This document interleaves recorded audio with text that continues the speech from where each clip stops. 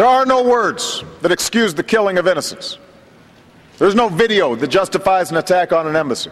There is no justification, none at all, for responding to this video with violence. In fact, this was not a pre planned, premeditated uh, attack. That what happened initially was that it was a spontaneous uh, reaction to what had just transpired in Cairo uh, as a consequence of the video. The notorious video called Innocence of Muslims portrayed the Prophet Muhammad as a womanizer and a child molester, and it ignited violence across the Muslim world, leading, we know for a fact, to the storming of our embassy in Cairo, Egypt.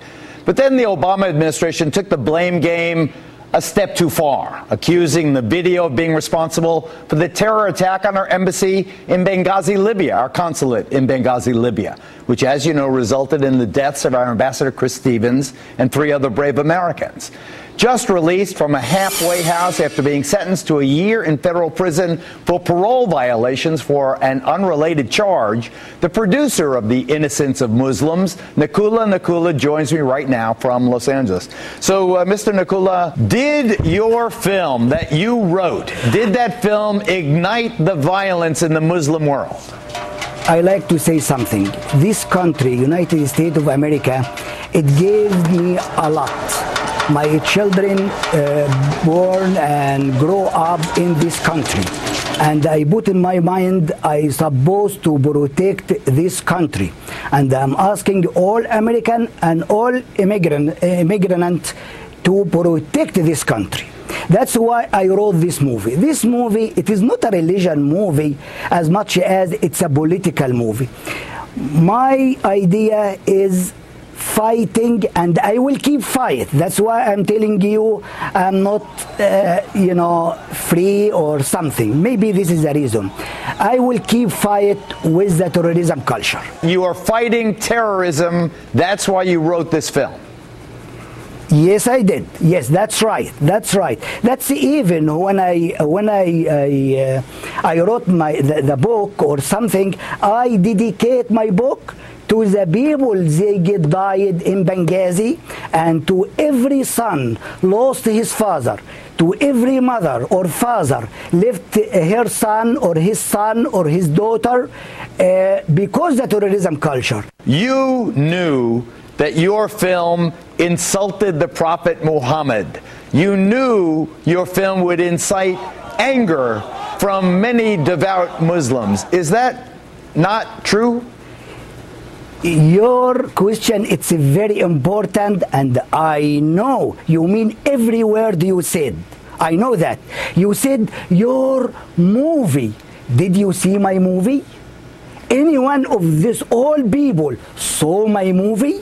No. They just take a piece and they're running with it use your question. It's very, very important Nakoula, question. even if and they only very, saw a trailer, a sampling of your film, is it not true that you knew that the Muslim extremists that you are so opposed to that these people who want to drink of milk and honey and virgins in heaven and blow themselves up and all the rest of that, you knew that these crazy people, these crazy religious people, would be angry at this film. Did you not?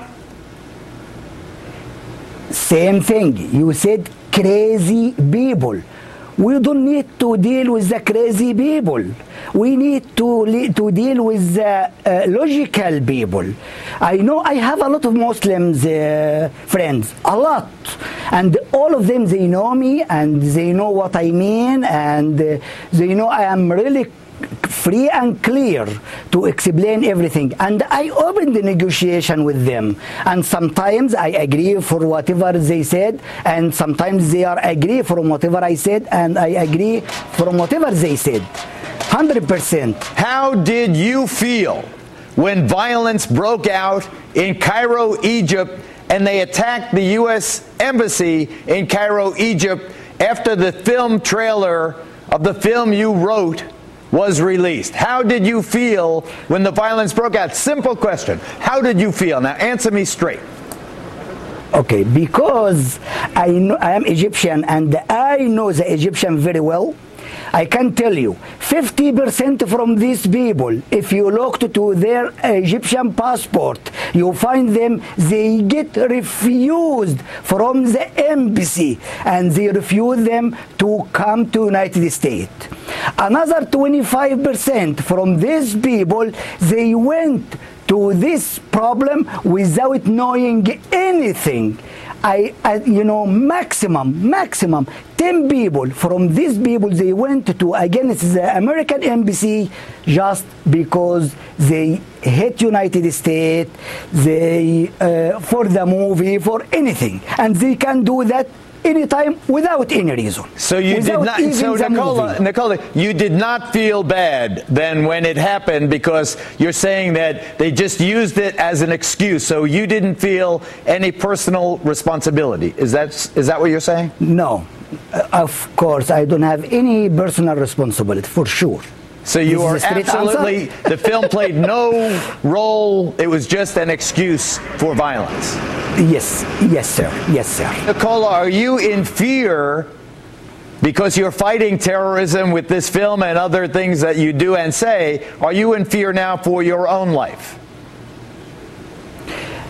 my life is nothing. I am not better than uh, uh, the ambassador or the three heroes they get, they get killed with him. I'm not important than them. I'm not important uh, besides 3,000 they get killed in, in New York. I'm not. I'm not that important. Who, who am I? Who am I? If everybody think about his life, that's mean forget United States. Forget the free world. No, life is nothing beside these heroes. Nicola, you're a very colorful uh, character. I wish you well as uh, we go forward in life.